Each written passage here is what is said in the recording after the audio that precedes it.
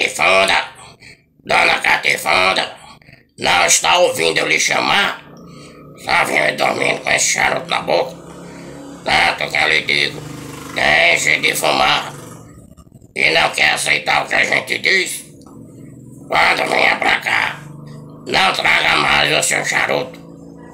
Mas pra compensar, quando eu passar na tabacaria, eu vou comprar uma charutada pra você.